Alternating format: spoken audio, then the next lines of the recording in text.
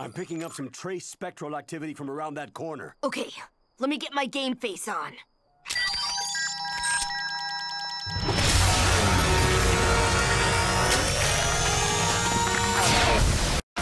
Humungousaur!